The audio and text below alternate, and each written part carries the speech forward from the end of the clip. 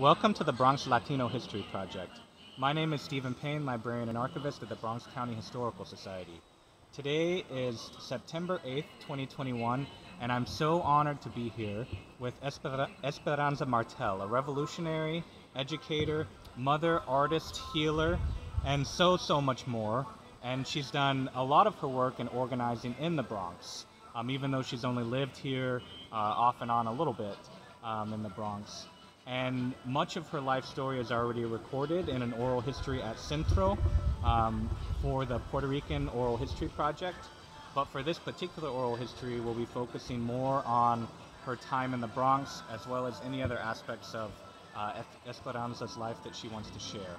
Uh, so I guess to start off, um, why don't you tell us a little bit about your first encounter or experiences in the Bronx? Well, thank you for having me um, remember my Bronx history. Uh, so my, I be, began doing activism in the Bronx. Um, with, I guess the the because I'm trying to really place myself right so in the late, I would say like in the late 60s. Sure. When folks were fighting for community control, bilingual education, Absolutely. and childcare, basically. Sure. So folks like Evelina Antonetti is one was the leading person in a lot of those struggles. She did a lot of coalition work Sure. and was part of Brown versus Brown Yeah. in, Yeah. in the Board of Education. Right? So, you know, I was young. I was in my early 20s Yeah. or late teens. And I would come and support actions. Sure. I supported actions in the Lower East Side also, in the barrio, Yeah. and of course in my community in mid Manhattan, Sure. which was a Puerto Rican and black community until we were displaced. Which is still pockets Yeah. in the in the 80s and the 90s, Sure. but we mostly had been displaced in that area. So, what comes to mind is coming to the Bronx, actually around here, around 138th Street, Yeah. and and going to demonstrate a demonstration for the independence of Puerto Rico Sure. and and um, also doing support organizing. Yeah. It's a community-based organization. It, when when the young lords, when the young lords were up here, and this again is in the early in the early 70s. Sure. I did I did some support work with a the detox clinic Yeah. after the takeover. Uh, actually, my my mother and my aunt came to me with me, um, and work with Mutulu Shakur Sure. Sure. from the Black Liberation Army yeah. and, And Walter. and Walter Bosque Yeah. from the Lord, Young Lords doing because I already I had already been a a drug counselor. Okay. Yeah. I yeah. started doing anti drug work and counseling very young Sure. because my front my my my brother had been a drug addict and um, after he overdosed at 17 i actively like i gotta learn about this and how do we how do we protect our, our community so eh, I did that in the early 70s. Yeah. I also, eh, I was, I joined a community-based organization. In 1970 was a really powerful year for me, Sure. and and in and the movement. Um, I had been a night student at City College Mm, in 68 and 69 when the takeover had happened. yeah. So I met I met some of the people that eventually formed the Young Lords. Sure. Um, and you know, you in the movement you develop friendship. Yeah. I um I went to Cuba in in 19 August 1970. The Young Lords had that large demonstration for independence of Puerto Rico eh, during that time. A lot of takeovers. Yeah. Right yeah, yeah, left. yeah. There was the takeover of the church. Yeah. Um, actually, when I I left for Cuba at the end of August and came back at the end of October. And the first thing I did was to go to the church. Yeah. Yeah. Right? That's the, the first thing I did. And we were really pumped. However, I didn't join the Young Lord because in 1970 I was 24 Sure. and I was already formed politically, Yeah. I guess, Yeah. or, or stronger than other. And the average age of the young girls was 16 and 17. Yeah. Much much younger. And I already had this p- position around drugs, Yeah. right? And I went to the office on 111th Street and poof, I got this big puff of uh, smoke. And I said, no, I can't join this group. So I joined a community group that was forming Sure. in the we- in the West Side, Yeah. and I'm an artist, um, and I was actually working.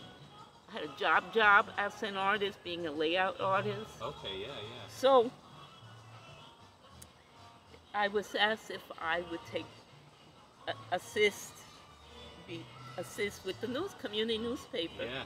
and I said sure, and I came here, right here to 140th, right? I mean, you didn't mention that we were at Brook Park. Uh, I should have done that in the you should beginning. have said that.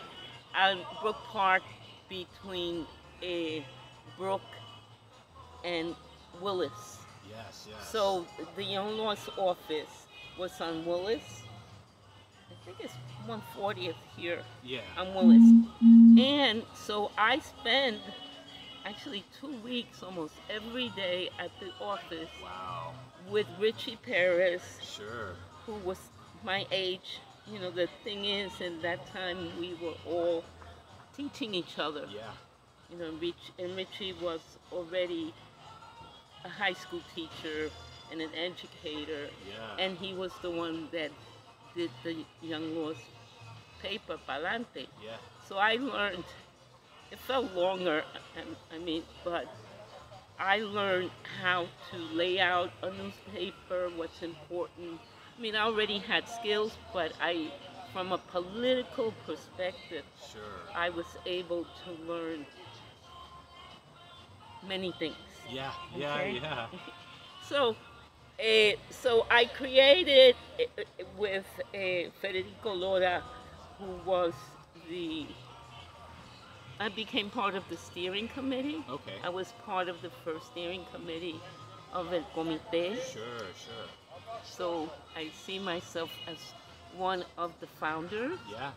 Actually, the only woman founder, but it was started by Federico Lora Sure. and some other other men who and we were about the same age so we were older working yeah. workers working class you know in factories and etc and and they were in a baseball team and out of this base baseball team grew because it was the time of the squatter movement. Yeah. So they took over. They took over a bit, uh, an office right in the corner of a 88th Street and Columbus Avenue. Okay. Okay. Yeah. So, eh, one of the things besides, you know, besides doing the housing, organizing, I was the person that eh, coordinating, organizing. I was the lead wow. organizer. Yeah. I had skills. Yeah. Yeah. you know, yeah. Yeah. for sure. And um, and knew already knew a lot of people in the city. Sure. Um, so I we did the newspaper. We laid it out. We took it to the printer. Yeah. I mean, um, people don't understand because everything is digitized now. Yeah. That we had to press letter. yeah, yeah, yeah. I've, I've seen some old Press proofs, and letter. it's crazy to even yes, and hours um, and hours. and we had a team. We worked in a team. You know, we had tra- uh, translators because it was in Spanish and English. Yeah. We had artists. We had, you know, and I was the person who led in the layout. I did yeah. the layout. Um, and there's, uh, I wish I had a, one of the papers with me Yeah. because whenever at the end, whenever there was an empty little empty space, I would do a little wiggle. I was gonna ask you if you ever did any art for the paper. it- yeah. it's very, you know, it was Yeah, just whatever. fill in, Yeah. fill in, but not actual art. I, I'm very, I spirals, you know, things that could fill up a little space. Yeah. Yeah. Yeah. Yeah. So, so the other thing that we did was that we sold the newspaper. Sure. right? So my I, my beat, I had two beats, right? One was a Dolores side Mm. and Williamsburg, Sure. and you know I, we always had partners. Actually, my partner was um, Max Colon, who is a wonderful Puerto Rican photographer. You know, he's a master photographer. um, and he used to take pictures for the for the newspaper. But the other beat, my- our other beat was the Bronx, Okay. Yeah. Yeah. Yeah. the Bronx. Um, so, you know, and and when you do this kind of work, you go places where people don't go, because Sure. the idea is that we wanted the community to have this information in their heads. Yeah. And you and and this story you could you know double check with Jose, Jose Rivera, the assemblyman. Sure. Sure. So one of the places that we distribute the paper and sold. I mean, you know, the paper. I don't know. At one time was 15 cents, another time was 25. We're talking about. And then we would actually sit with people and read the paper to them. Sure. um, Jose Rivera had one of those little food trucks way way back then, Yeah. and we would go and say was selling cuchi frito, and we would go to his his um his place, his little stand, and we would sell newspapers there and and to Jose Rivera and engage the community Yeah. in in dialogue. Jose Rivera says, he says, you know, public he, he says, has said that the reason he went into politics was because. Wow. my fault Yeah. Yeah. Yeah. That we have a. Jose Rivera. I always laugh. I always laugh, you know, because I'm not big on electoral politics. Sure. Sure. But I'm big on everybody organizing and finding out uh, how to push yeah. the struggle, Yeah. right?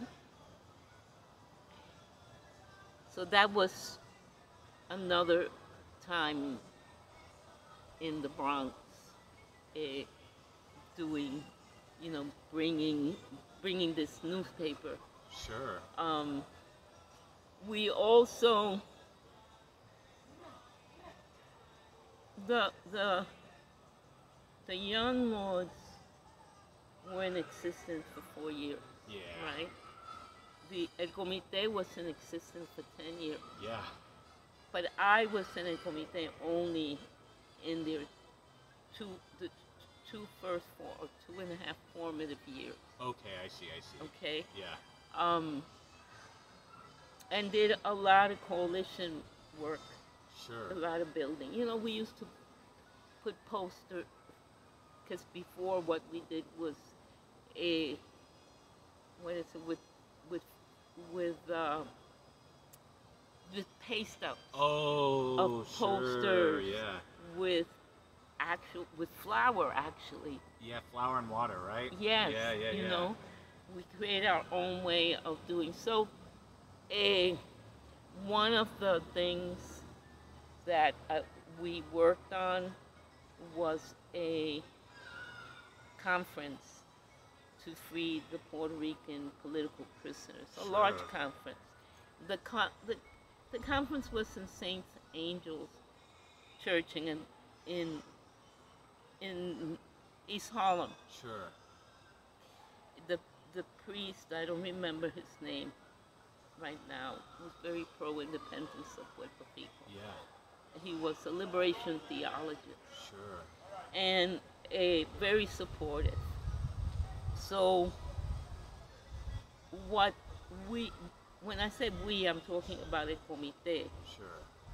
A, our goal was to create a united front Yeah. of all Puerto Rican groups and what any allies to free the five nationalists, Sure. the five nationalists. Eh,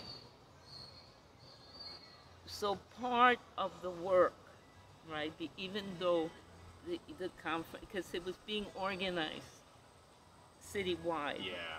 So part of the work for that was doing the pay stubs and, and the organizing. Sure. And the young lords were part of that when we formed the the uh, now I don't remember the name. A it'll come to me and I'll Sure. share it. it the which is basically of the United Front for the Freedom of Puerto Rican Political. Okay, okay, yeah, yeah. Big title there. And the Young Lord sat on that besides a MPI, Okay, yeah. which then became the Puerto Rican Socialist Party. And we we had close to a thousand people at that conference. Wow. You know, it, it was a real to develop a real, real campaign Yeah. for their freedom. Then nine years later, they were free. Yeah. But it, you know, even though the young lords weren't around, members of the young lords like Richie Perez Sure. and Panama Alba Absolutely. and um, Mickey Melendez, they crea- created Free Puerto Rico Now Committee, Sure. which was here in the Bronx. Yeah, yeah, yeah. Right? Panama told me a little bit yes. about it. Yeah. So they they were they were working on this, yeah. and other groups were also working on the release of the nationalists. Yeah. But a lot of the work, I would say, came out of the Bronx. Sure. You know, and we're talking about folks from the Bronx, from the West Side, Manhattan, from Harlem, from East Harlem, from the Lower East Side, from Sunset Park, Yeah. from Williamsburg, wherever there was a Puerto Rican community, Sure. there were committees to free the nationalists. Yeah, yeah. So that work was very important Absolutely. very important. And let me see, anything else in the 70s I remember? No. Okay. the the the um, Richie Perez and Mickey Melendez and Panama and some other people created the National Committee for Puerto Rican Rights. Sure. And the founding meeting for that was at Hostos. Ah, okay, okay, sure, sure, sure. And I, I remember, you know, it was, I remember ni- nine, 1981 yeah. because I gave birth in January. Okay, yeah, yeah, And yeah. then this conference was in March. And I was asked to, to chair, Sure. uh, to chair the women's committee. Yeah. And um, I remember it well because after that conference, my son never breast, breastfed anymore. Okay, yeah, yeah, yeah. You know, this is my point of reference. Yeah. A, but that was very important Absolutely. because what they we were able to pull together was what what was left of the Puerto Rican movement. After the uh, attack by Control Pro Absolutely, yeah. and a which destroyed many of the organizations, many of the organizations, you know, um, PSP, El Comité, of course, the Young Lords much Sure. earlier. Sure. So I think it was 74. Yeah. You know, PSP and El Comité was in the early 80s. I see, I see. So part of it was like to regroup yeah, yeah. and to re- regroup with members from different organizations, sure. right? And I'm just giving you the, the, the name, the, the organization that people know. Yeah. There was another organization called Resistencia Puertorriqueña. Okay. Yeah. you know, and there was another organization in the Manhattan Valley area around 106th Street, Okay. and I don't remember the name of it, Yeah. but they did excellent work. Yeah. Um, and the struggle for Hostos, I'm sure you already heard how. Definitely. So I was there supporting that struggle. Sure, sure. Yeah. It took me 11 years to get out of City College. Yeah. I was- I was a student for a long time. Yeah, yeah. so yeah. most of the struggles uptown, not, I, you know, I didn't go to Brooklyn, Yeah. you know, but most of the struggles I was part of, whether in the Bronx or whether in Manhattan. Sure, sure. You have any questions for me? Yeah, so um, I guess I'll start with um, the struggle at Hostos and then uh, go back earlier for a little bit. Um, but with the struggle at, at Hostos, uh, um, what are some of the ways that you were involved in that struggle? Strike or student strike support or things like that, or what? Because I know part of I don't remember which parts of the school were taken over, but I know students occupied parts of the school for at least pretty long time. I mean, in the grand scheme of things, but Well, I was, um, I guess, student Sure. support. Um, people at Ramon Jimenez, a friend. yeah, So I have all these, you know, comrades. yeah, yeah, yeah. that, you know, and whatever was needed, I was available to do work. yeah, yeah. I have been always the person who does outreach, does media outreach work for the sure. press. Um,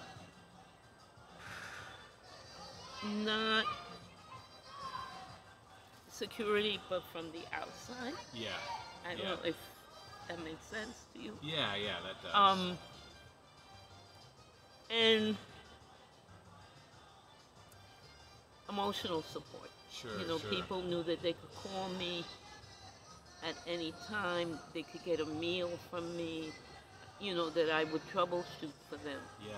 So that kind Sure, sure, sure. of support. Sure, and I I'm sure that that kind of support was really crucial uh, because for you know the students who are directly involved in uh, in the actions uh, that some of them were arrested and and some of them weren't, but you know there had to be hundreds of people supporting each one of those each one of those people or it wouldn't have been successful. I mean, the city of New York, as I understand it, and the state of New York would have closed down Hostos and Bronx Community College, combined them into one. That was their plan, and to completely slash the budget, completely slash open admissions. It was but- a real powerful community effort yeah, on every level, across class lines, yeah, you know, because that's the only way Puerto Ricans have been able to do anything. definitely. You know, even the freedom of the political prisoners Yeah, was waged across class lines. yeah, yeah, yeah. You know, so you know, in retrospect, you know, it's amazing. Every struggle that we had was just amazing, Yeah, and that we, and that we were able, with our, with our differences, because Sure. you know, we were able to come together to deal with this one issue. yeah, yeah, yeah, yeah, definitely. And so many, so many vic- victorious struggles. I mean, definitely, definitely, you know, plenty of uh, setbacks along the way too. But so many victorious struggles, and I don't think uh, there's many other people in in New York that uh, could claim as as many victorious struggles as the, the Puerto Rican people in New York. It's really amazing. Even though some of them were just partial victories. Sure, sure. You know, um, I always say, you know, we took over high rises on the west side Yeah. of Manhattan. And we were able to get 30% of those high risers to go to low, low income people. Sure. And it- at that moment, it was a victory. Yeah. But in retrospect, it was a partial victory. Yeah. because we didn't qualify what low income meant. Yeah. And now, and now, you know, 50,000 a year is low income. That's ridiculous. I know, I know. You know, that's ridiculous. it is ridiculous. So that, you know, you learn lessons. You learn lessons. Yeah. Eh, but I think for me, all the struggle is about waging them across class lines, getting allies, Sure. and um, yeah. So you know, my work. So I was a youth worker for a long time, job job. I was mostly a youth worker on the west side of Manhattan Sure. and the Lower East Side.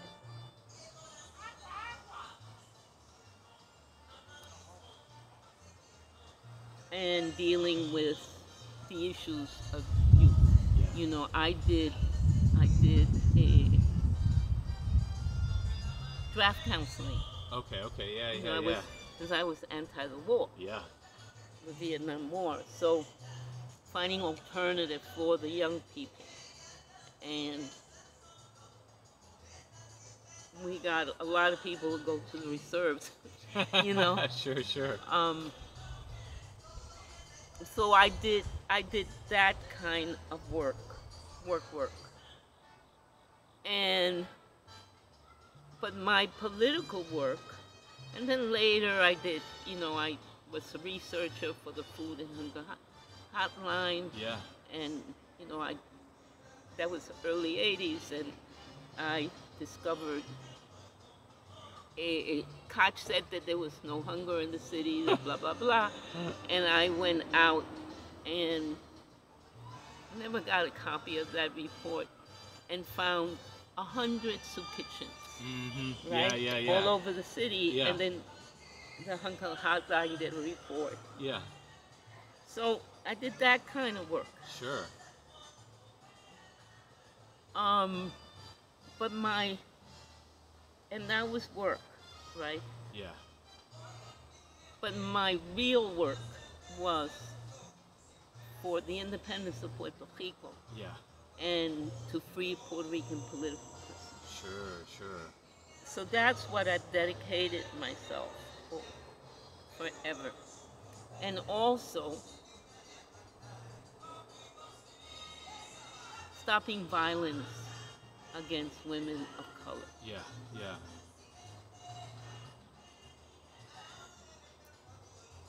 I haven't been after a comité. I never was like in an organization, Sure. but I did. I was in or issue organization like to free the political prisoners, Yeah. whatever. One of the things that we had to do is find go. We used to find churches that would support us Sure, sure. especially in the work around political prisoners because of the attacks of the state. Yeah, yeah. And there were churches here in the Bronx Yeah.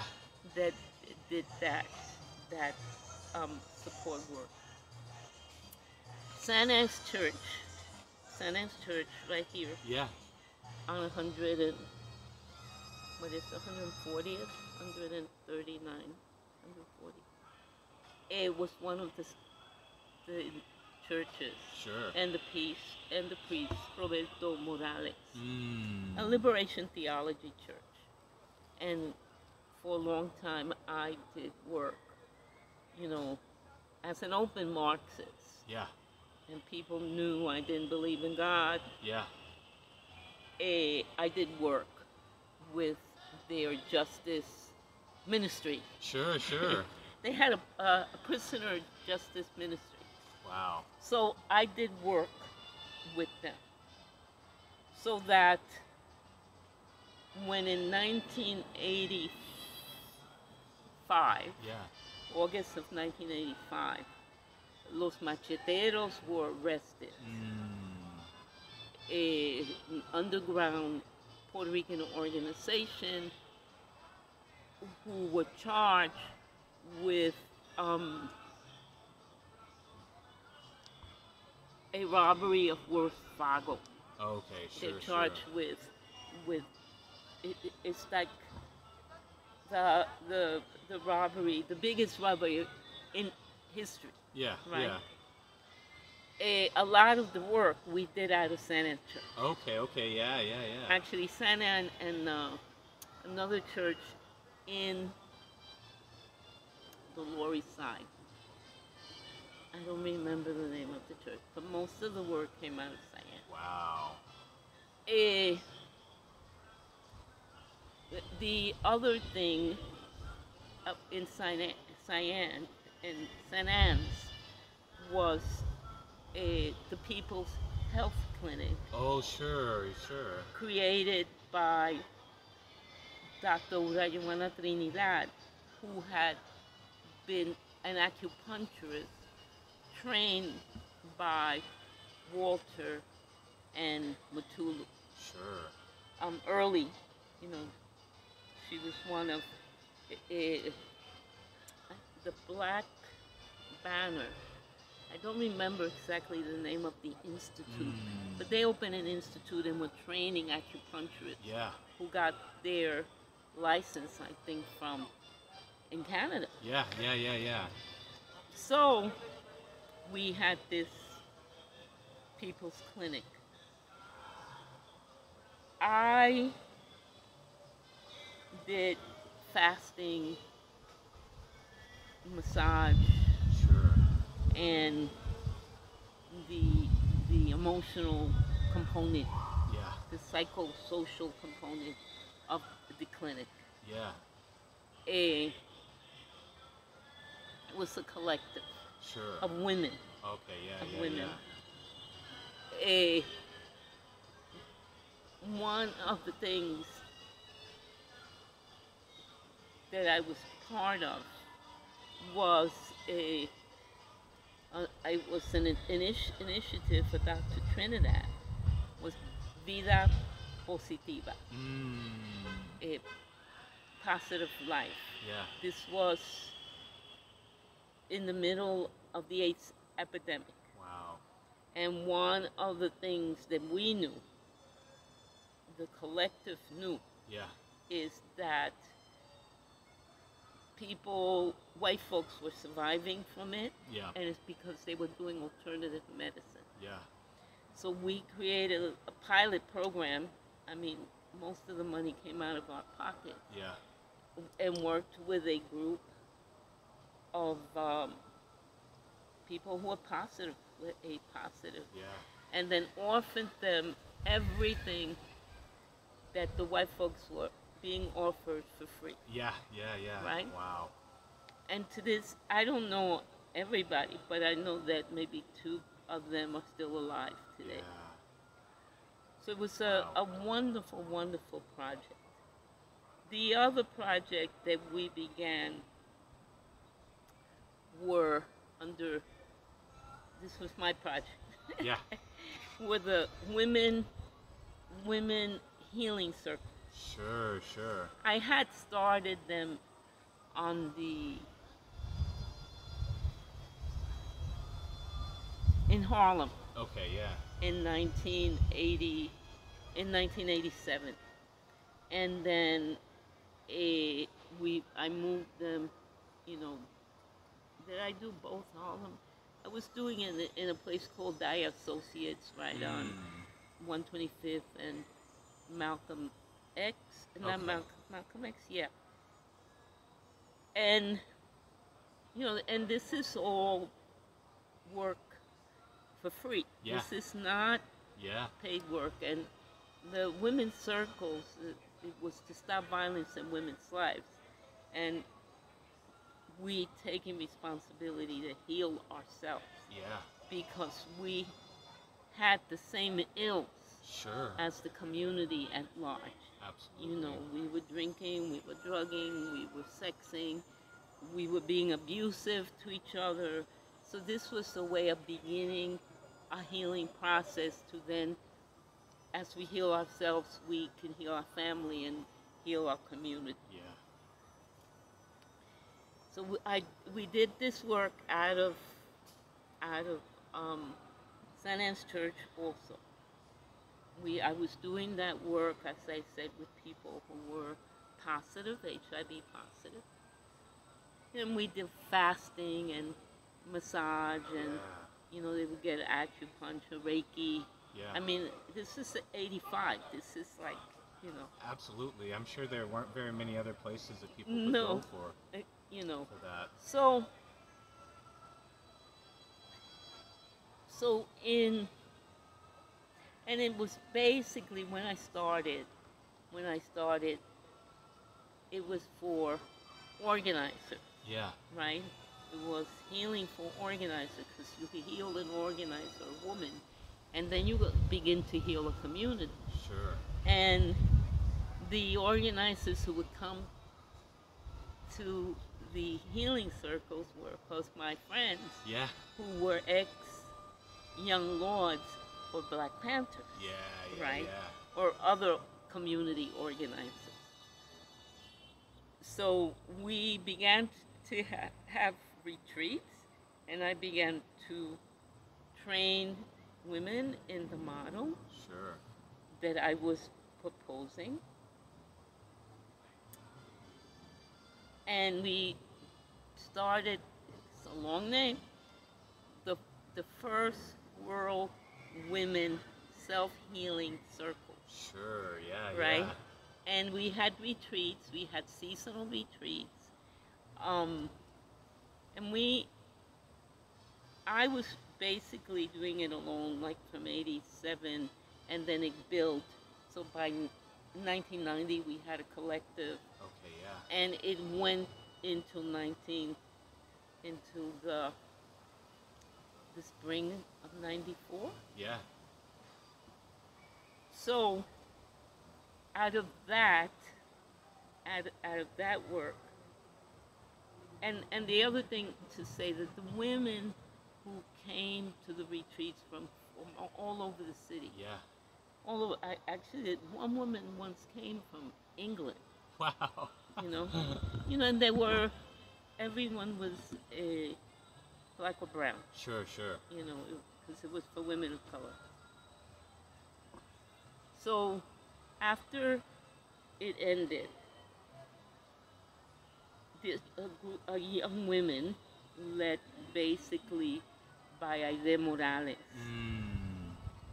Um, the other one was a Emily Lopez, Sure. and then the other one, the last one was Marta Morales, not related, no but relation, yeah. yeah.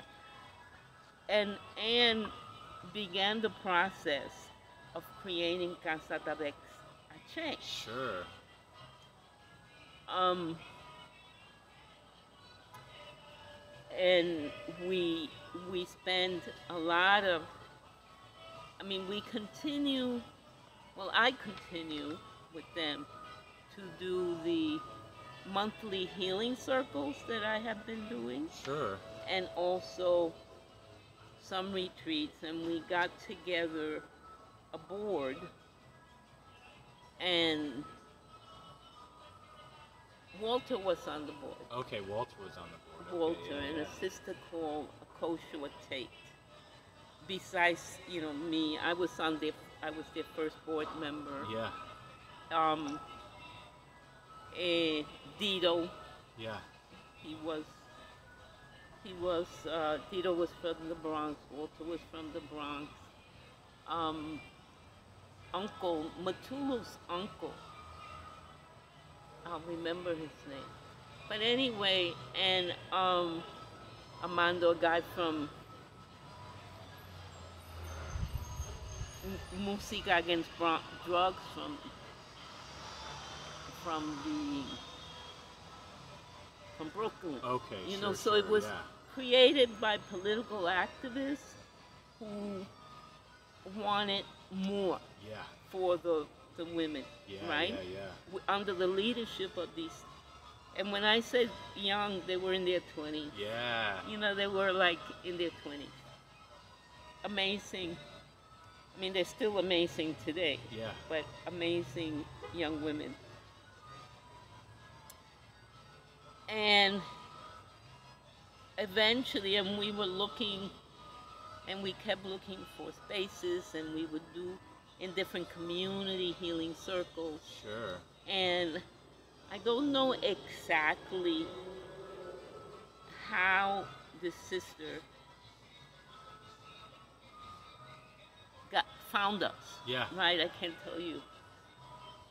Eh, her name's Sandra Hernandez, Hmm. organizer on this block, Okay, yeah, yeah, yeah. 140th Street, and um, and I think she came to one of our retreats with another organizer from this block, two or, other organizers, black women from this block, and they said we want this for our community yeah. we because you know the six buildings right here right there they had been taken on management you know there's some management and they're supposed to have given service Sure. to the community so they so they gave us a space Wow. free rent Yeah, as long as we service those six buildings sure. You know and engage the families and the women in the community Yeah, So that was really exciting work. absolutely. You yeah. know, from um, I think it, we began in '87 or '86, Sure. and um, I played different parts. We Yeah. all played different parts, and Isaiah was. A, o- originally, we hired a director, but she had no clue on our vision and our mission. So then Isaiah ended up being the, the director. Yeah. You know, eh, she grew up in East Harlem in the project Sure. and she had a very good friend who was killed you know, who was killed. And um, so the center was dedicated to Elba, Yeah. you know. And um, so everybody there was moved to this work, right? So from I became the executive director. She was the, the ED until 02. Yeah. I did a lot of the programming. And the training. You know, I didn't get paid, Yeah. Yeah. yeah. right? So it's not like this was my job. Yeah. Actually, I, I had been working at the LaGuardia Community College Okay. Okay. in a return to work program. yeah. you know, and they, after two years or whatever, they didn't get the funding and the program closed down. But I got, I got a unemployment, Okay. Yeah. Yeah. Yeah. Yeah. so I could really do this work. sure. You know, Sure. I, I didn't really, so, so that this work here in the Bronx, I think made a real difference for many, many, many women Absolutely. um, who, you know, just not for straight yeah. women, Yeah. but for lesbians. Sure. And at the time, we were just dealing with biological women. Yeah. Later on, when I mean, I left in in the fall Yeah. of 01, Mm. And I, they left in 02, and she passed it on to one of the women who had come through the program. Okay. Sure. Sure. right? So, uh, D, a also very powerful, very powerful young woman, uh, Di Malte. She became the, the ED, and um, they opened it up to transgenders. you know. And they closed shop on 2013 Mm, yeah. you know, for it was it was a challenge because we had received the pay, the space for free Sure. because to give service to the community Yeah. and the, they weren't giving service to the community so the management asked them to leave Yeah. yeah. right they were doing i think good work Yeah. you know on a city maybe citywide national level Sure. eh, but not the work that this community needed. Yeah. Um, the other thing about CASA that I think it was important is that we combine the healing aspects Sure. with activism. Yeah. So we would go to peace demonstration, we would go to women demonstration, housing, Yeah. education, we would take the people there. The other thing that was unique was that, and, and it was very interesting, is, you know, when we first opened, women would come with their benefit card Yeah. and say, I said, you don't need that, Yeah. Right? So it was free service without Sure. a benefit card. No, you know, people didn't want to give us their full name. We didn't care. Yeah. You know, we fed people. Yeah. We had a youth, a girls program. They were called Fuerza. Okay. Okay. And yeah. we did similar work. And then we did the, the program with older women, which was, you know, from just loving themselves and dancing and Yeah. you know African dance and and we did martial arts and we did arts Sure. you know and we taught how do you do an altar a Yeah. goddess altar Sure. for yourself so it's very very different Yeah. and very womanist Yeah. You know, womanist. Um, a, men wanted pizza. We would say, no, no, this is just for women, Sure, sure, sure. right? Harry, Harry was one, I don't remember Harry's last name. Anyway, Harry was one of the fun, founders of this garden that we are in. Yeah. And I remember it- the first day he knocked on our door, you know, and we would like go, white man. Yeah, yeah, yeah. and um, and we would do things together. Sure. Like they gave us, they gave us a a box to work with the young Yeah. the young women. So we, we, I've been here working in this garden since 1996, I think, or seven. Wow. You know, and not, not actively in the organizing, but just whenever, because, you know, I live in Washington Heights, Sure, I'm on sure. the west side, and it's interesting when you ask me about my activism here. Yeah. I was thinking, and then I said, oh my God, I've done so much work. Yeah, You and know. it's just interesting how rooted you are in this, you know, very particular space with the garden, with a lot of the things you've been involved in within a block or two of, of this garden. I mean, it's such a rich history on a very, very local Yes. local level, you know. Yes.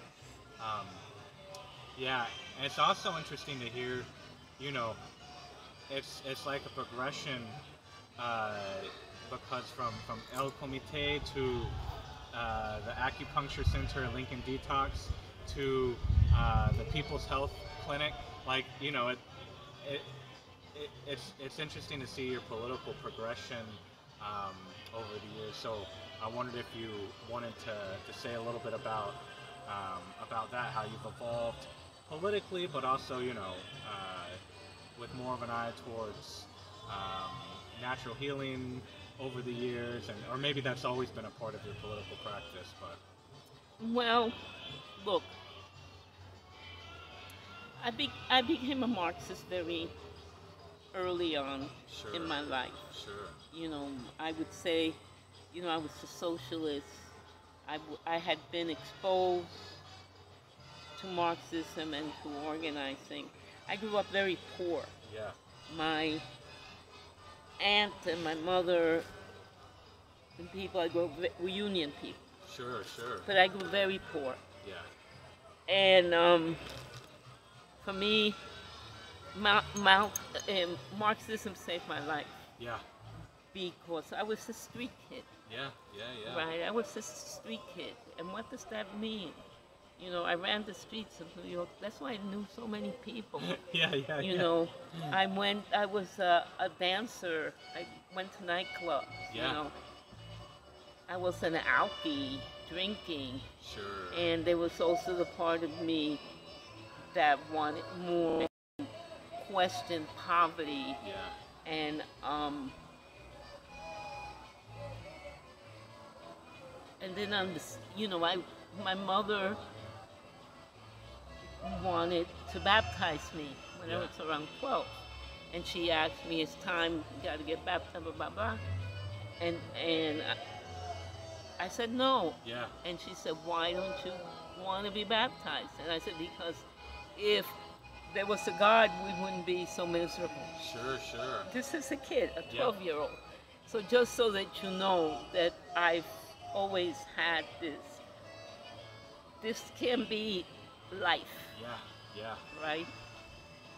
I started my own healing practice. And my mother, because I think it's very important, even though she beat my ass, right? yeah, My mother was a healer. My aunts, I come from a legacy of healer. yeah, and I witnessed them healing the community. My my mother's uh, our home was open to people. I mean, she didn't even lock the door, yeah, and you know she fed community.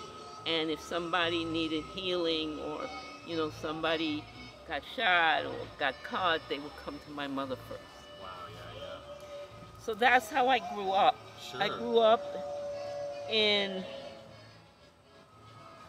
in a contradictory situation because I was being abused, Yeah. but at the same time, a very loving and caring, Sure, sure. you know. So, you know, my mother said you gotta eat a lot of vegetables, you know, blah blah blah. Yeah. She was she, herbs and everything healthy, Yeah. except we ate a lot of meat. so, eh, for me, becoming a healer of Yeah. some kind was not because I wanted to heal myself. Sure. I was very sickly. Yeah. You know, I had asthma. I have bronchial asthma. I've had pneumonia three times. Oh wow. Right. At the age of uh, 22, I had a very serious nervous breakdown. Yeah. That's when I stopped drinking. Sure. Um, because I was in a car accident. Oh wow. So I, it really brought up all this stuff. And I began to look for alternatives. And Yeah. I always, since I was a kid, went to chiropractor. yeah, yeah, yeah. Um, and where I went for my healing was Harlem. Yeah, yeah. You know, was Harlem. There was a, I guess they must have been in their 30s, group called Aquarius Oh, okay, okay. in Harlem, and they had, and they had, um, they did alternative medicine. They even had a, a food co-op. It Oh, was, okay, okay. This was Wow. in the early 70s. They were amazing. They were also very healthy, beautiful people that I wanted to be like. Sure. There was a uh, the Tree of Life Mm. on 125th Street, right in the corner, and um, you know where the state office building? Yeah, yeah, yeah. At Adam Clayton Powell, Adam right Clayton there in 125th. It was called the Tree of Life, and it was a bookstore. You could get herbs, you could get take classes, Yeah. and I did that. Yeah, And I went to Daya, yeah. Daya Associates. I got, I learned how to fast, do yoga with her. Okay, sure. I um, got colonics. So, but this was for my healing yeah, yeah, yeah, because yeah. I was a mess, Yeah, right? And in doing for myself, I was able to do for others. absolutely. So that's why I was at at the People's uh, Clinic, the, sure. At Lincoln. in Lincoln, Yeah, and yeah. that's outside of the politics. yeah, for you sure. know. And I was dealing. Look, I once worked in a junior in a junior high school Mm.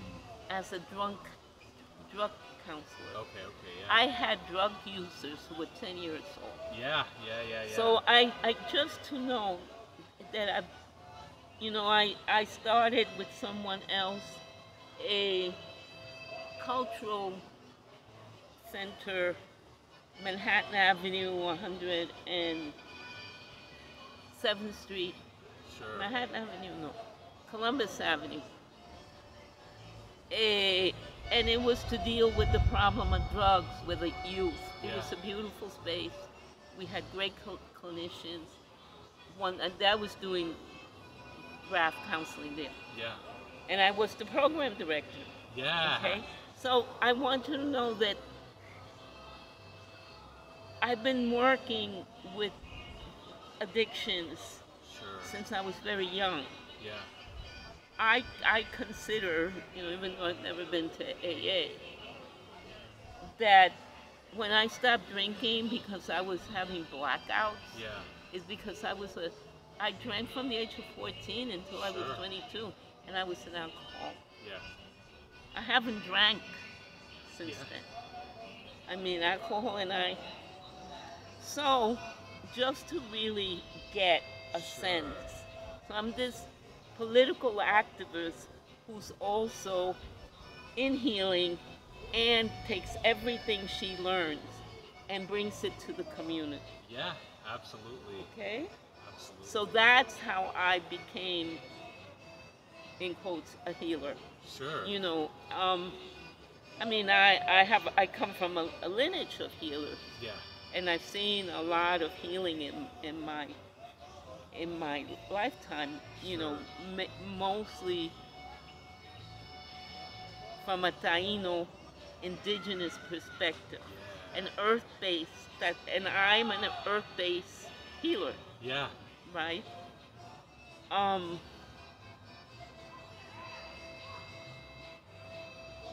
So that's what gets me to be here. Yeah. Right. Yeah. This is, you know, if I'm not, I mean, I can't be here because it's expensive now with COVID for me to come here. And I, I try to come every two weeks. But I'm always walking by the river, Yeah. Yeah. by the river in Washington Heights, by river, Riverside Drive. I think it's called Washington, Washington Park. I'm, I'm in nature. Yeah. I, my backyard was Central Park and Riverside Park. Yeah. You yeah. know, and that's how I grew up in nature. Yeah. So, you know, and I always say healer question mark because people say I'm a healer, Sure. Sure. Sure. right? So I, I say, okay, I'm a healer. Yeah. Yeah. you know, because that's how people experience me. You know, very spiritual. Um, and I've done a wondrous healing work on myself, Yeah. you know, and with community, Sure. you know, with community. So, did I answer your question? Yeah, yeah, yeah. And you know, I, I, while while you were talking, I was just thinking. I don't remember the exact quote, but, um, but I read it not too long ago. Maybe it's from Lenin. Who knows who it's from? But, um, but something along the lines of, as uh, uh, you know, capitalism continues to enter its, you know, uh, you know, stages of decay, more and more people realize that it's not just a matter of, you know, wages and workplace, that it's, you know, literally a whole war against the earth, against, uh, uh, against women, against people's mental health, ev- everything along those lines. And it's clear that, you know, you've been fighting it on all of those fronts for, Yes, you I know, have. from the very beginning of your life. Well, really. you know, one of my favorite books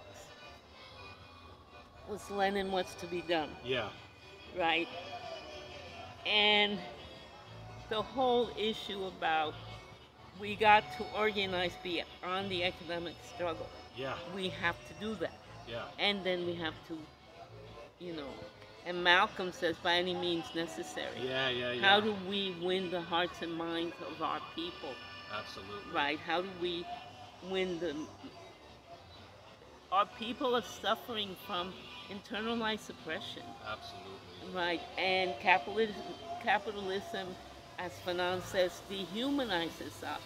Uh, yeah, and ab- how do we reclaim our humanity Sure. so that part of claiming your humanity is connecting back to the earth Yeah.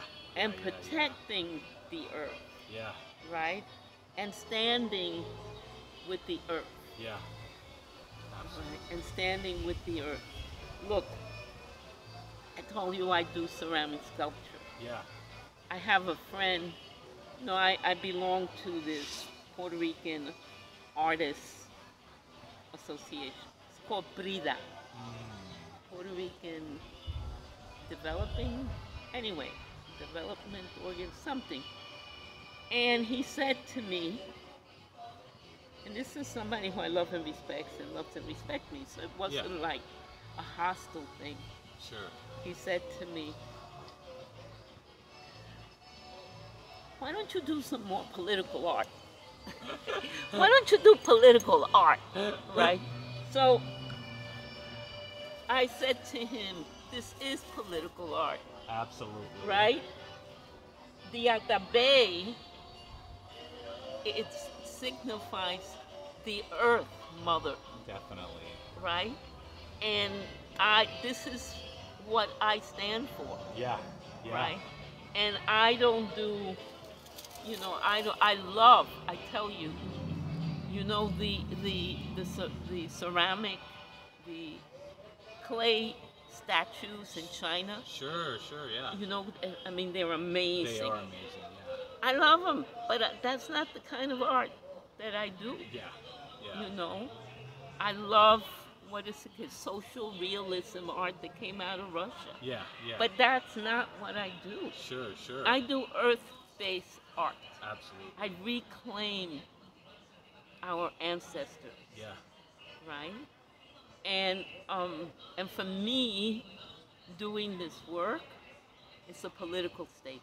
Definitely. right? Definitely. And sharing it with my community, Yeah. right? Um,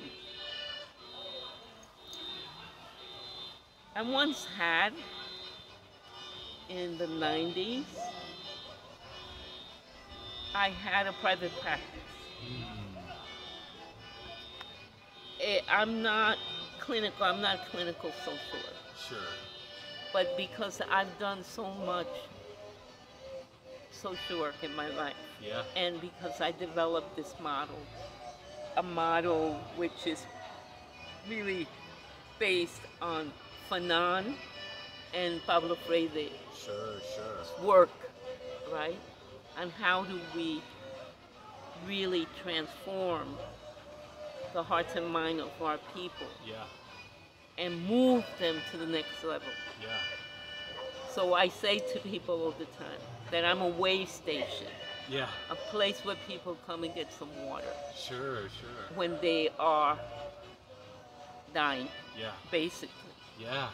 You know, I mean, people say that doing this work saved their lives. Yeah. I'm sure. You know, I'm I sure say that too. Doing this work saved my life. So now I lost the thread. What I was gonna say. Um, will come back to me. But it it's it's just that how do we intertwine everything? Yeah. right? How do we do the economic organizing, Sure. but from a place of power, Yeah. a place of love, and not a place where you're begging, Yeah. Yeah. Yeah. right? Yeah. and how do we create our own spaces, Yeah. right? And push the capitalists Yeah. and um and how do we actually bring our community to that level Yeah. Yeah. Yeah. you know so i said earlier to you you know i'm not big on electoral politics Sure. but i support i know a lot of people in electoral politics Yeah. Yeah. right good people Sure. who and I just say I just say look everything that that that glitters is not gold Yeah. right Yeah. and don't get taken your mind taken over by these people who at the end are capitalists and they're gonna step put your the boot in up your ass The second they can. Yeah. yeah the second they can't so but I will work with anybody who wants to heal, Definitely. anyone who wants to transform, because I don't talk about change. Yeah. I talk about transforming society Sure. because I always say, look, you could change your underwear every day, yeah. okay? But how do you transform so that you don't have to wear underwear? yeah. Yeah. Yeah. That's funny. I like Yeah, that though. Yeah. know, Yeah. Yeah. So, so that's what basically my organizing is Sure. like. right now, I think that the only Bronx thing that I'm doing is the garden. Yeah. There is, and I told you, Michael Johnson, a what do they call? Anyway, they are Fierce. no, no, oh, no, no, and they're um, they're up here on 140th Okay. Okay. where the clinic was, Oh, okay. and they are working on bringing back the cli- clinic. Oh. I don't know, sure. like a center or something. I do volunteer work um, with Fierce, Sure. Yeah. which is a queer youth a center up in um, Fordham and Morris. Yeah. And what I'm doing there is training people in emotional healing. Okay. Sure. I'm doing great work. You know how we protect all these queer youth Yeah. who get thrown out of their home, who get raped, who who are constantly being attacked, Yeah. right? Um, anything else I'm doing in the Bronx? You know, and then I support organizers all over the city, including Sure. the Bronx. I don't know if you remember last year some organizers got beat up by the police, about 200 of them, Yeah. right, Right. right down here, Yeah. Definitely. right? I was supporting them Yeah. when the the Pulse, when the Pulse, when they killed those queer folks in Florida, Yeah. we do healing circles, open community healing circles, Sure. and we had drumming circle. Um, it depends on what organizers Yeah. want to do. So I support I support a lot of Bronx organizers. Sure. Um, I just did something yesterday Okay. Yeah. for the point, Okay. Yeah. Yeah. Yeah. and they had they had an open mic. Um, and they asked me to participate, Yeah. and I talked about violence against women Sure. and the importance for men to organize men to stop the violence against women. Yeah. And I do that kind of work. Yeah. you know. I'm not working, working, working because I just retired in May, Okay. Sure. you Yeah. know, at 75. Yeah. And but I'm still out here in my community. Yeah. You know, I support. I'm going to be at a demonstration in the Lower East Side for Puerto Rico on Sunday. Oh, okay. I've heard. I've heard about that. Yeah. Yeah. yeah, Yeah. on Sunday. And uh, um, so I'm still doing work, not in the same way. Sure. Because, sure. for instance, as as you know, I only come here in a cab. Yeah. Yeah. I'm not vaccinated. Yeah. Um, I I am very healthy, Sure. and I don't want to get sick, so I don't take the Yeah. vaccine. Yeah. Yeah. um, and or people actually pick me up and take me. Okay. places. Sure. I've been in a few car car caravans Yeah. during COVID around police violence, police killing, that kind of thing. Sure. And then I just support organizers. You know, whatever people are doing and they want to speak to me, I'm available. What I did all of during all last year was see people by the river. Yeah. Yeah. Yeah. Yeah. You know, see people by the river. They want they want counseling by the river. They don't have to pay me anything. They want to give me a donation, I'll take it. Yeah. You know, it's it's this is how I live my life. Sure. In Sure. in um, in celebration and transformation and generating peace. Yeah. You know, peace for myself And it's a very violent, very violent time for all of us, but in particular women. Definitely. You know, and I'm talking worldwide, and you know, and right here, Yeah. right now, Yeah. right? Eh, and it's on us. You know, it's on you Absolutely. as a man to talk to your friends and say, how do we stop violence against women? Sure. Sure. Right? Sure. How do we do it? Men have to talk to each other. And they have to actually share. They actually have to share their story. Yeah. You know, um, I raced this Monday, Monday night. And one guy actually told his story. You know, that his father was abusive Yeah. and that he once he was beating his mom and the kid jumped his father and Yeah. the father hit the kid. I mean, you know, people got their own stories. So How are we gonna purge ourselves Absolutely. if we're in silence? I know. I know. Yeah. And if men don't stand up and say, you know, because there is direct abuse, and then there is abuse because of your conditioning as a male and the privilege Yeah. Yeah. Yeah. that yeah. you get from the patriarchy and capitalism. Definitely. Definitely. You know? I mean, you're a white man, so it's also the privilege as a white man. Absolutely. So, that's what I'm doing now.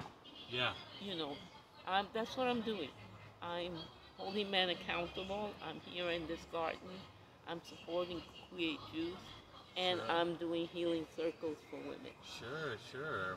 Um, so as far as your healing practices go, uh, what are some of the healing practices that you've developed over the years? Uh, I mean, I'm sure there's some that you have been doing from the get-go, but I imagine there's some that you've developed either by yourself or maybe with others collectively over the years. Well, look, I come from a lineage of healing, so I have, I do hands-on healing. Sure. you know, and that's part of, you know, I heal with herbs, as I said to you. Yeah. and food. Um, I teach people how to cook in my practice. I, how to use herbs, how to use crystals, Yeah. how to do affirmations, how to meditate.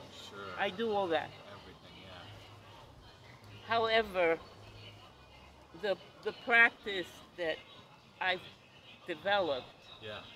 it's emotional release work Sure. and how so oppression gets stored in our bodies Yeah. Yeah. right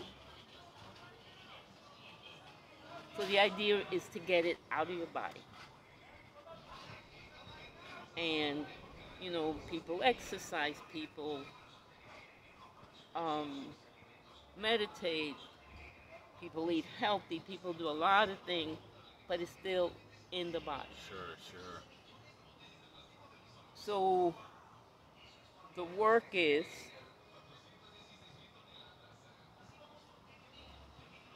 with your breath, with the breath, to connect to your body, Yeah. to visualize what's there, Sure. and to release it through either like babies do, Yeah. right?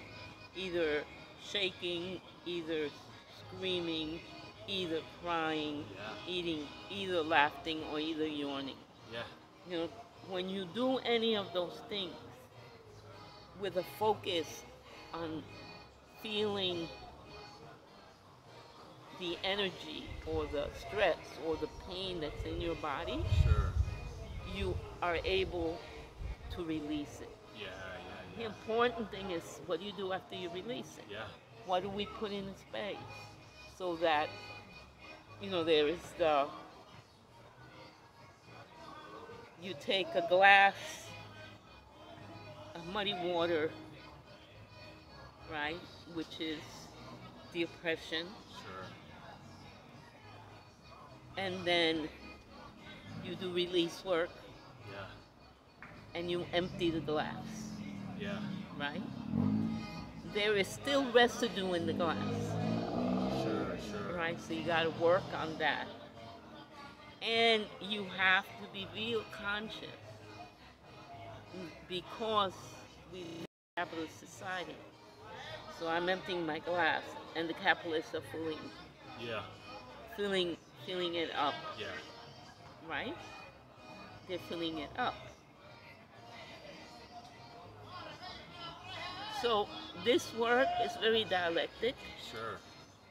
um, and it's really dealing with physics. Yeah. So I want you to really think about quantum physics Sure. in relationship to this work. work. Yeah. Yeah. Yeah. and and the work is never ending Sure. Yeah. Right? For sure. Yeah. because you got all this residue Yeah. and you i always say you want to hit the mother lode right Yeah. you uh, and you want to feel release the trauma Yeah. release the trauma but we're scared Yeah. you know we have this is what we want to do and then we're either drinking smoking whatever drugging whatever we're doing you know i tell people please don't take any medication when you're doing this work Sure. Sure. right Clouds the mind It- it- you're not present Yeah. the importance of this work is to be present Yeah. okay it's um very intense work Sure. um and it's life work Yeah. this is not a panacea Yeah. this is going to be for the rest of your life Yeah. whenever you get triggered you have the techniques to work yourself Sure. and you don't have to go to a therapist Yeah. Yeah. Yeah. Yeah. right you don't have to take medication Yeah. you are your own healer Definitely. right? I say to people, be very careful who you give your mind to, right? Because people go to a therapist, they don't know who, how this person is, who they are, what they believe. Yeah. Definitely. You know, somebody told me this woman who was exploring, a, a, a white woman who's a psychiatrist or psychologist, whatever, and she's exploring, she's a doctor, so whatever, and she's exploring the whole spirituality thing and ancestors Sure. and all these things. And I said, who do you base your work on? yeah. Yeah. right? And she said Freud. I said, you know, the, the guy, the guy. First of all, he was he was uh, uh, an addict, Yeah. Yeah. right? Yeah. He was an addict. I think it was morphine. Yeah. He was deep addiction, and he was anti-women. Racist, colonialist. Uh, yes, and he was that. he was a you know the the the thing is that that people talk about the Frank Frank Frank Franklin's what's that word? Any will come. The word will come. The school that he had in in in in Germany. Oh, the Frankfurt. Frankfurt? Exactly. Yeah, yeah, yeah, the. Frankfurt School, right? Yeah. and that we know that people left the humanists Yeah. all the humanists left Yeah. they were all marxists Yeah. right freud they were all marx and the humanists left Yeah. because of the body center and this is a long time ago Yeah. Yeah. Yeah. Yeah. Definitely. Right? Definitely. and reich i think the guy's name was reich who who wrote the the psychology of fascism. Oh, that's right. Yeah, yeah, yeah, Okay. yeah, He left and he went to work in the ghettos with the working class youth. Sure. right? Which Freud would never do. No way. No way. Only the bourgeois for him. Exactly. so, you know, you gotta be real careful. Absolutely. And I mean, And the way he fucked with people's minds. yeah, right? And women believed, and and to this day, the people, it's like the woman's fault. There's, you know, hysteria. yeah, yeah, yeah, yeah, yeah, yeah. I know. It's like, I know, and and so much of the natural healing methods of the European peasantry, all of that's been wiped out. You know, not not completely, but there's still traces of it. But you know, there, there's a history there that, as a white person, is a lot more difficult for me to access well, because there's not the continuity. Um, have you ever heard of Starhawk? Oh, I have. I, I never read anything by Hey, her. But you should read. You should read. Um, she's an eco, eco warrior. Oh, okay, okay. Okay, Yeah, yeah. ecological war. She actually trains as a training. She's about. She's might be older than me. Sure. Eh, she has brought back, I mean, she's a Jewish woman, and she has brought back many of those practices for the white women. Yeah. There's a, uh, a Jewish women's group that's very active, um, and they train Jewish women in the practices Yeah. the European practices in healing. Her name, her, I remember the name. And eh, there's a woman, Susun Weed. I just used her book. Mm. She's also older, a little older than me. Eh, the menopausal years.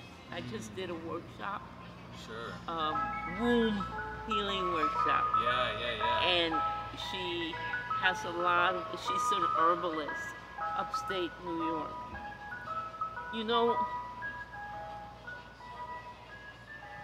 these are the people that need to be researched yeah, people reclaiming reclaiming culture definitely. earth-based culture and then coming together with people of color in coalitions Absolutely. and seeing what they have in common and what they can learn from each other. Yeah, yeah, You yeah, see? Yeah.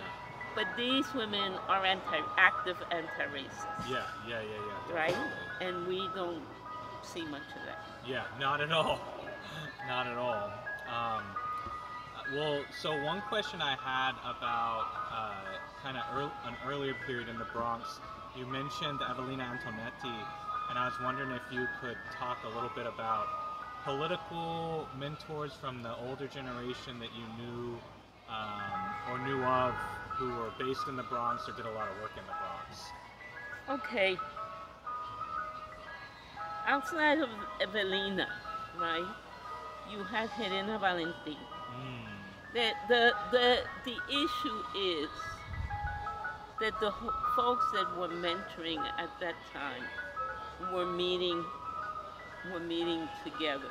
sure, sure. I- I think I said to you, you need to read a O- Olga White, Weinheim's book from Colonia to, to from from Colonia to Colony Yeah, yeah, yeah. because there she talks about a lot of that organizing. Sure. Um,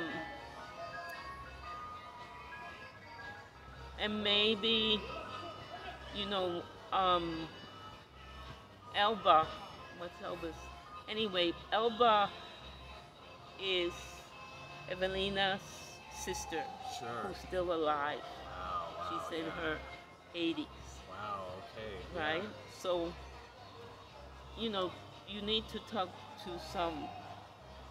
I mean, I'm an elder, but uh, other Uh, yeah, a generation gen- older. uh, that they're still around, yeah, yeah. right? And um,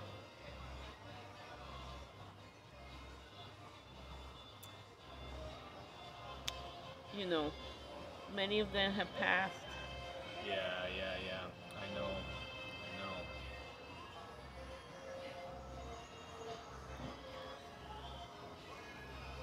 However, you know, at least you have history from um, Antonia Pantoja, Sure, sure. one of the people who organized and I supported her effort Also in the 70s, Yeah. older person was Dr. Helen Rodriguez, Mm, who did the work around stopping st- sterilization abuse sure. at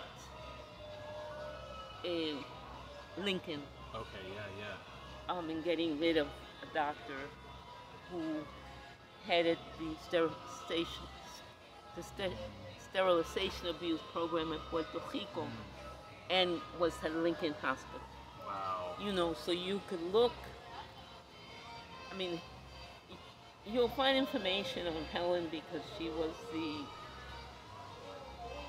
the president of the National Public Health, Okay, yeah, yeah, yeah. and there's this information on Antonetty. Sure. you know, sure. so I worked with uh, a committee in the 70 called CARASA, which was Committee Against Committee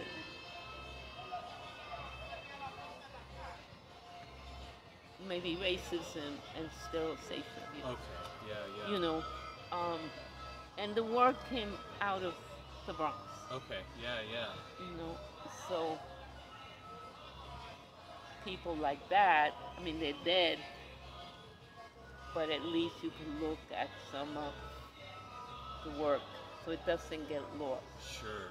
at the center for puerto rican studies that's a lot on evelina the library is named after evelina Yeah, yeah, yeah. i don't know if they have helen's paper Mm, I don't know if they do either, but Yeah, but, they have a good you know, for her. it would be really important. Um, I'm trying to think of men, you know, and I, I think I mentioned to you that it, the Communist Party had a section with the Puerto Ricans. Sure, You could look at that. People like Jesus Colon Sure, sure, yeah, yeah. and Bernardo Vega, hmm right? Um,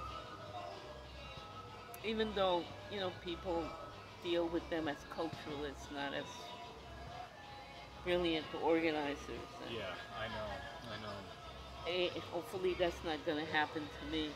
People just deal with me as a healer. I'll haunt them. Fucking will haunt them.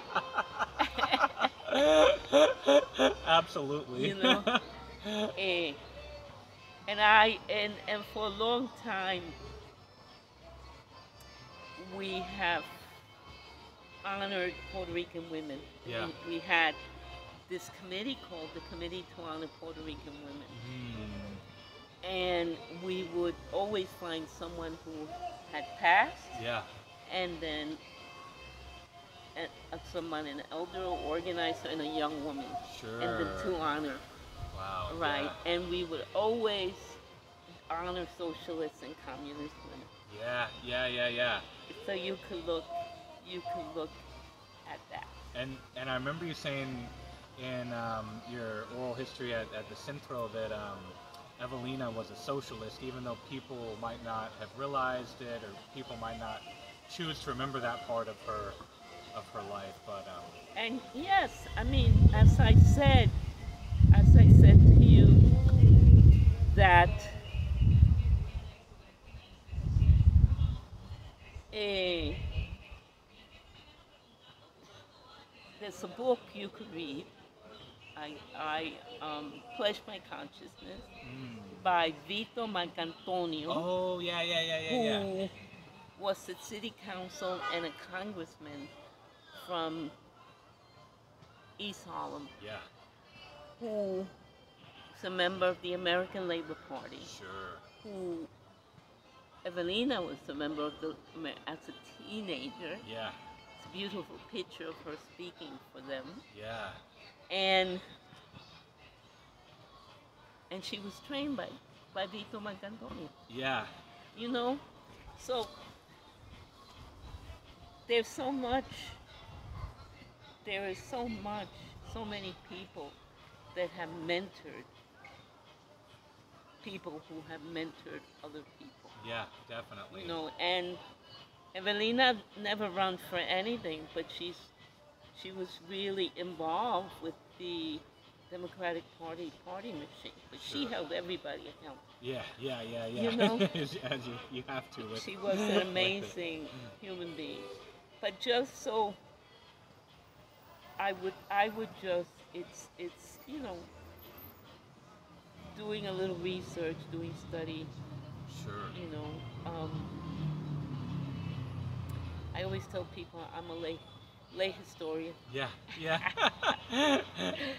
Eh, so I have that's why I really do these oral history yeah. because I have all this story in my head. Definitely. Yeah.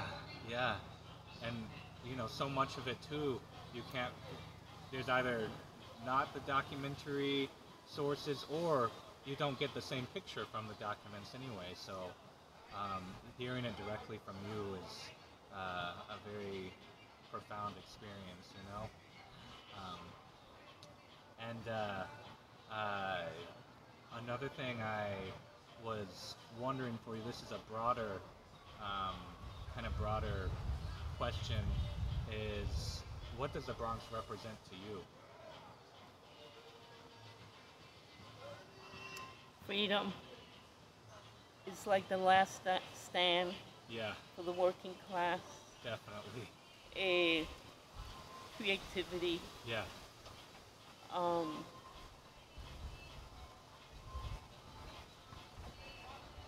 no matter what, we're gonna do this.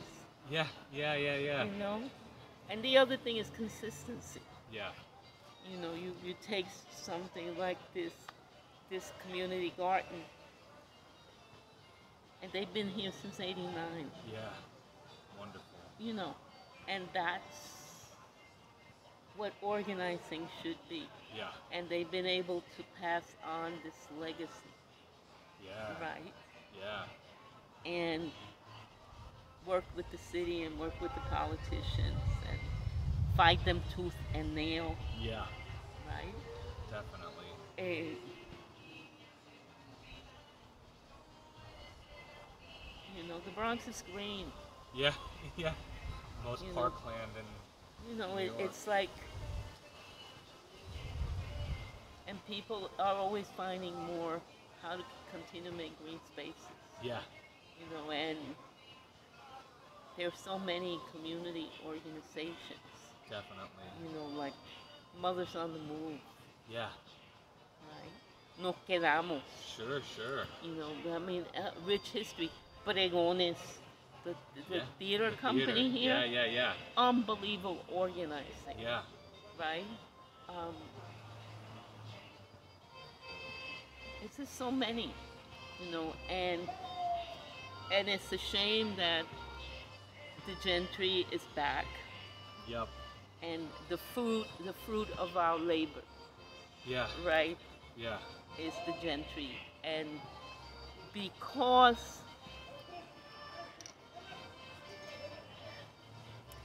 Puerto Ricans forgive everybody and their mother yeah, and will work with anybody and with no it, it- and people don't have to do anything sure. right in return. But that's not the case with the gentry. No. You know, they want to take, they want to take everything that is ours, Absolutely. right? And you know, when when I talk about the gentry, I'm talking about the capitalists, the people who really believe in capitalism and who just want to sell their products Yeah, yeah, and who don't give two fucks Absolutely. about, I mean, the number of homelessness. You know, I mean, if people with money would just give 1%, I know. I know. you won't have homelessness. I know. You know, it's crazy. I know. But instead, they they give 0.0001 percent, and and since it it's such a large sum to any person who works, it seems like such a large amount, but it's nothing. We give more when we give twenty dollars to to someone than they give in an entire lifetime usually. Crazy. So it's finding a way, you know, and I promote dialogue. Yeah. Um, I promote people looking at race, class, and gender Sure. and their life and their privilege and how do we undo Yeah. oppression, Yeah. right? And that's what I train people in. You know, one of the things that I've worked on,